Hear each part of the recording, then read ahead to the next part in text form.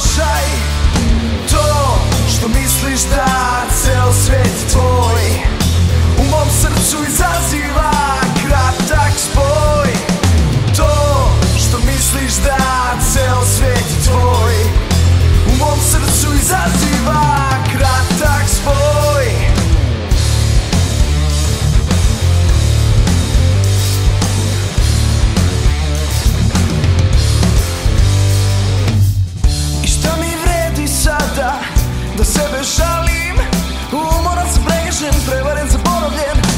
tebi odgovara. Ostala si ista